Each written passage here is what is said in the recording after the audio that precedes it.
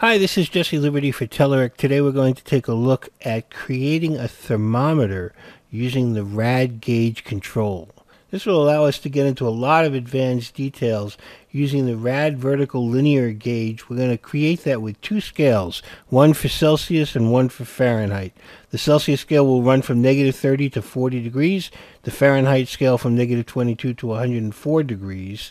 We'll have a text block that will set up as a custom text block to indicate which scale is on which side of the thermometer.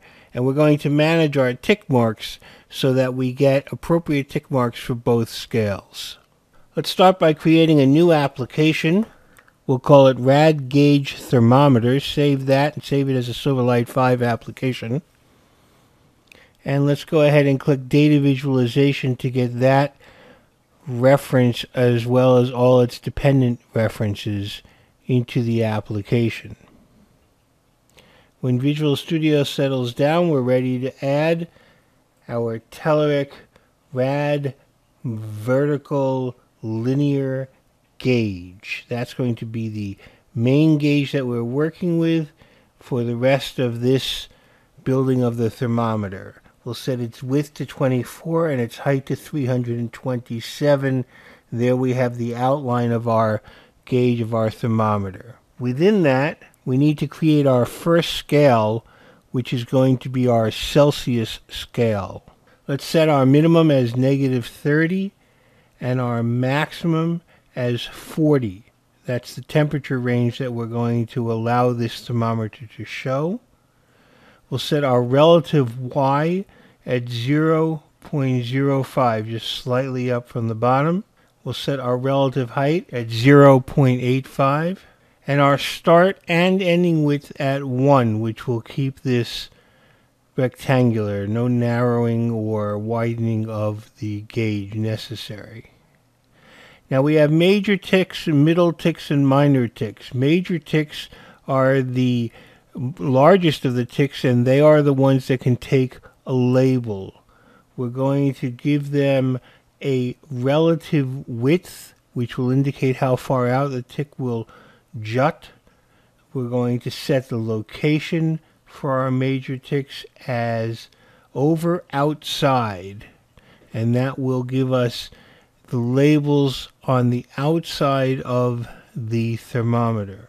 Let's set the relative height of the major ticks, and then we're on to the middle ticks.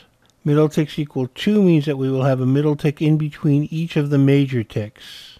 We can also set the middle tick's relative width and height, the offset, and where its location is, in this case, over outside again.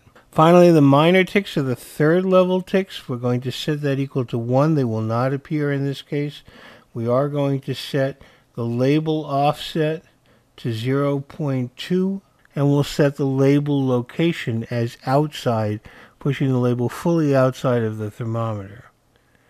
Our fill will be transparent, as will our stroke also be transparent, so that they do not show a color.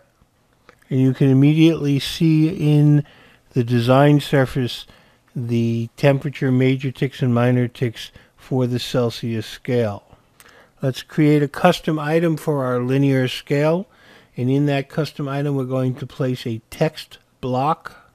We're going to use the Telerik scale object to set the relative x and y position, setting the relative x position as negative 0.7 and setting the relative y position to 0.95.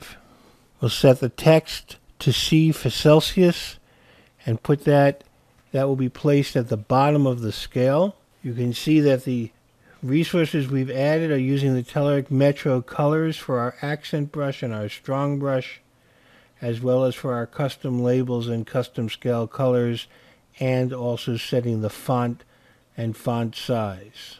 With that custom work in place, we are able to see the bulb of the thermometer at the bottom, and that used a path to draw that.